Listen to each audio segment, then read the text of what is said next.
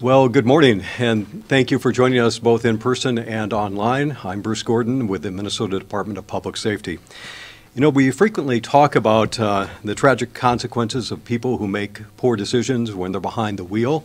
Those are important stories to tell. They are reminders of the lives that are impacted by poor decisions and the, the lives of loved ones who uh, also are impacted by these, these poor decisions when people are, are driving behind the wheel.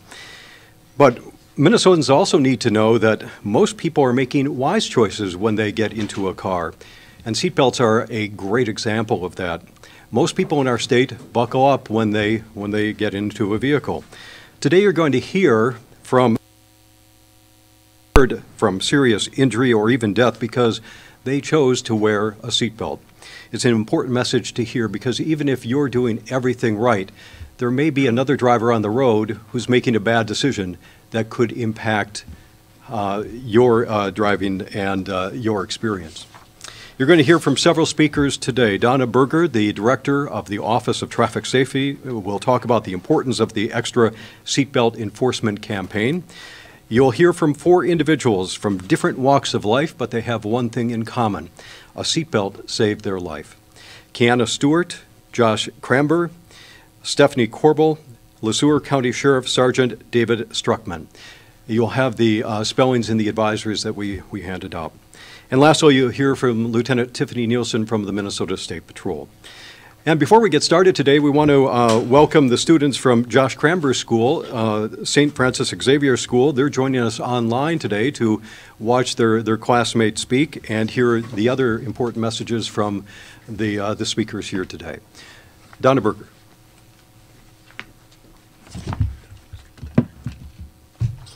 Thank you, Bruce. Good morning, everyone. When you hear about a traffic crash and there was a loss of life or a serious injury, instinctive, instinctively you might think, I wonder if they were wearing a seatbelt. Why is that? Well, we'd like to think it's because wearing a seatbelt has become an automatic behavior for most of us. It's the law, and that law has made a difference. Enforcement and awareness help. And parents hopefully are setting good examples for their children and the habit of buckling up has become the common sense thing to do. Thankfully, most Minnesotans are making the common sense decision to wear their seatbelt.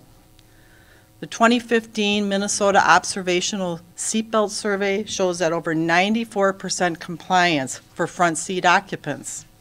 That's good news, but none of us should be satisfied with the result until it's 100% compliance. We hear the excuses, I'm not hurting anybody else except myself. It's a victimless crime. People still die even though they wear their seatbelt, or I'm a good driver. A seatbelt is not a 100% guarantee you'll survive a crash, but it greatly increases your chance of survival. And if you're unbelted and get into a crash, it's, a vi it's violent. You get thrown about and you can injure other passengers or be completely ejected from your vehicle. You may be a good driver, but others aren't. You need to protect yourself, and the seatbelt is your best defense. Also, your death or injuries don't just impact you. You have family and friends who'll have to wake up every day wishing you'd taken that three seconds to click that belt. In Minnesota, seatbelts aren't optional. It's the law. If you're the driver, make sure you don't turn that key until every person in your car has buckled up. And if you're the passenger, speak up. Speak up to other passengers and speak up to the driver till everyone's buckled up. Troopers, officers, and deputies statewide will be working overtime hours May 23rd through June 5th during the national Click It or Ticket seatbelt campaign. They will be working specifically to enforce the seatbelt laws. As part of that campaign, Minnesota law enforcement will also be participating in the National Highway Traffic Safety Administration Border to Border Challenge. This effort will include more than 20 states and focus on seatbelt violations from 6 to 10 p.m. on May 23rd. Nationally and in Minnesota, the crash statistics show that a higher percentage of people who died in crashes at night were not buckled up compared to fatalities during daytime hours. To talk about why seatbelts aren't just a good idea, but can be a lifesaver, I'd like to introduce Kiana Stewart. Kiana will be featured in the Department of Public Safety's seatbelt advertisement campaign.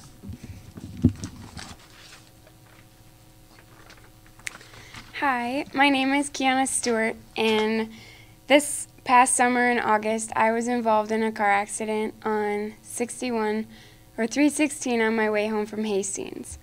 I was leaving a friend's house on a normal night, and I didn't want to get tired, so I left earlier than I would have. And unexpectedly, I dozed off on my way home and rolled my car three times through the ditch. I crossed over into another lane, and thank God there was no other car coming the other direction.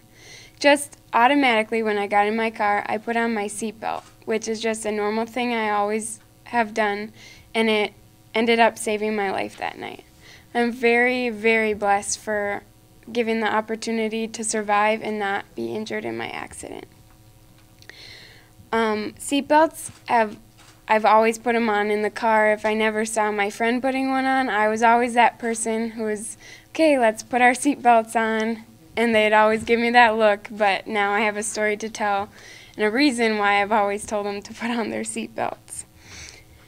When I got out of my car after the accident, it did not seem real at all. I the sounds and everything that just happened throughout the rolls, it did not create an image like what the car actually looked like when I got out of it.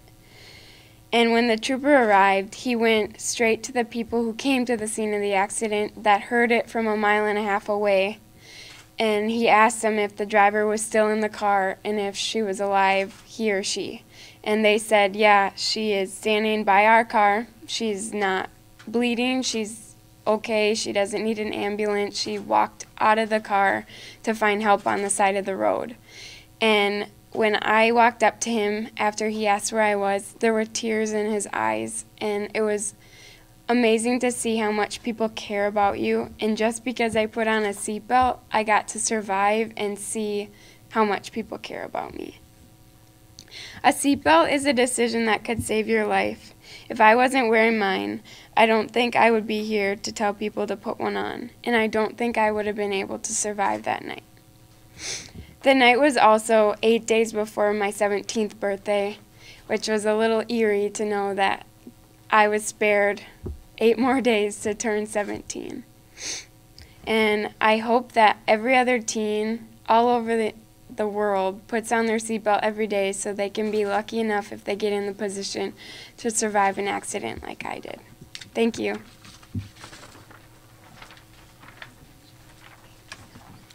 Hi, I'm Josh, and a few years ago I got in a very car- bad car crash. Um, I thankfully was not injured because I was wearing my seatbelt. It saved my life. Um, the crash was just very chaotic. Um, I ended up kind of blacking out for a bit during it, and when I woke up, it was all dusty and hazy in the vehicle, and I didn't know what was going on. I was really winded. Um, it's really weird thinking that a little bit of cloth saved my life. Um, anybody else would think that too if the same thing had happened. Um, it's just insane.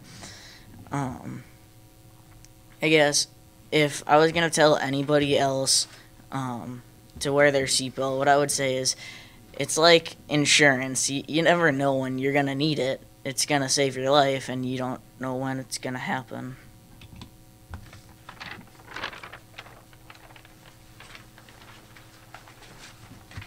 My name is Stephanie Corbel. Uh, I had, it was me, my two kids that are in the audience, and my nephew along with me.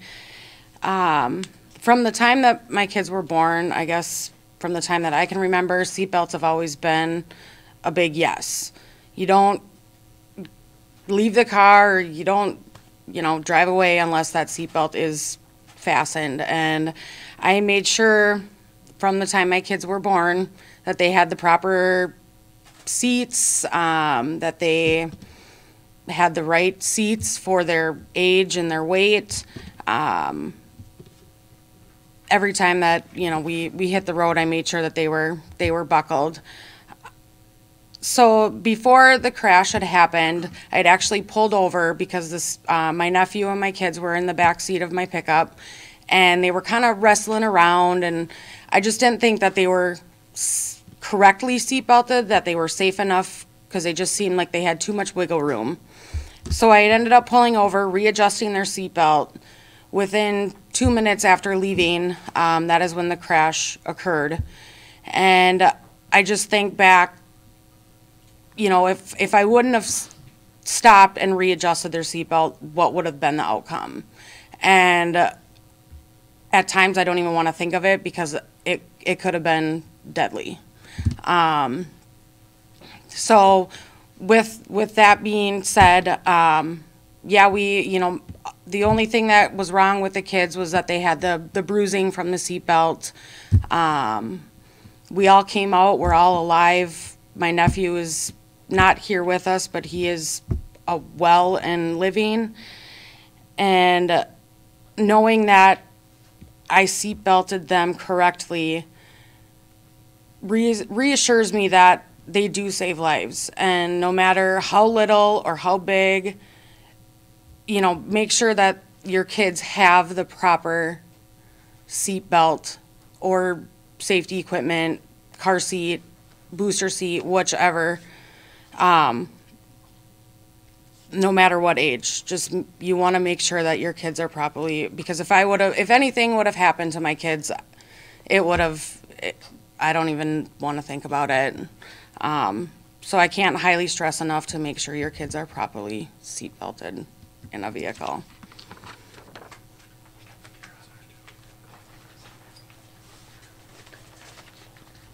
Hi, I'm uh, Sergeant Dave Struckman from the Le Sueur County Sheriff's Department. I've been a deputy sheriff for Le Sueur County for 38 years. And in that time, I've wrote uh, many crashes, over thousands and thousands, I'm sure. But as far as um, people being killed wearing seatbelts, I can only remember cutting one person out in my entire career that was wearing a seatbelt and got killed. And what I'm going to share with you is an incident that happened on October or August 27th, 2015. I had just cleared working with the uh, Mankato State Patrol on a double fatal car or a crash we had in our county. And I was on my way home. I was tired and I thought, you know, I'm only three miles from home if I take this gravel road and it's a six mile trip around the other track. So I'm going to go this way. I'm going to go these country roads. It's a nice day and I'm just going to putt along here. And I'm driving along and I come up a hill. And all of a sudden, out of the corner of my eye, I seen a flash. And before I could do anything, this vehicle was coming directly at me. Um, he hit me in the left front wheel of my patrol car and pushed me into a ditch, and I struck a culvert.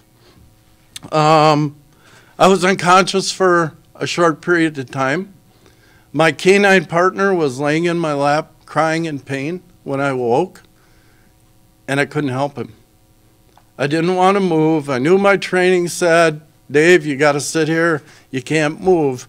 But I was able to get the mic out and call my dispatch and say, hey, I had a crash. But I didn't say that. I turned around and said, I need an ambulance out here. This is where I'm at. And they said, How many you got injured, Dave? and I said, Me, for sure. And then it was total chaos. We had helicopters coming, we had troopers coming from all over. Um, I was pretty shook up. I uh, went to the hospital, a hospital where I know all the nurses and doctors, and it was like I was family. Um, I was hugged, my hand was held. I just wanted to sleep. I couldn't figure out what was going on. I just wanted to sleep. I sustained a, a pretty good brain injury uh, from the crash. I had back injury. I had a, they thought I broke my leg. I had to be extricated from the car. The door was cut off. And it shouldn't have happened. Um, I stress to people that, and my young officers, as you drive along, you don't know what's going to happen. If that person's going to blow a sign and he's going to come out at you, in this case, 55 miles an hour, he come through the sign and hit me. People need to know this. And if you don't take all the precautions that you have by wearing that belt, you could die. And in Minnesota, you know, I always see people with sunglasses, and they wear their sunglasses because it protects their eyes. I see them wear hats because it protects their bald heads like mine from the sun. I see them spray themselves with bug spray. They take that time to protect themselves from mosquitoes. But yet there are still people out there that don't take that time to buckle up. And I know that I wouldn't be here today if I wouldn't have took that time to buckle that belt. Thanks. Hi, I'm Lieutenant Tiffany Nielsen with the State Patrol. As law enforcement, we're always looking for people violating the law. And when it comes to seatbelt violations, we issue citations. And the reason we issue citations is this last small percentage that doesn't buckle up, need that negative reinforcement, unfortunately, to get on board. But we hope by listening today to these survivors, these folks that went out, I'll tell you, there's two things all these people have in common. One, they put their seatbelt on, and number two, they did not know that was their day. So be prepared in the ways you can prepare, and wearing that seatbelt is the way to prepare. You don't know when day is going to be your day that you're going to be grateful that you put that seatbelt on. Over the next uh, couple weeks, we'll have extra police all around the state looking for seatbelt compliance. We'll be stopping drivers that aren't compliant. Our hope is that people make the decision without meeting an officer, without getting a ticket. Uh, what we want Minnesotans to get in the habit of doing is wearing their seatbelt every time, every seat, child, I liked what Stephanie said. Size doesn't matter. Uh, from infants to adults, all shapes and sizes should be putting their seatbelt on every single time.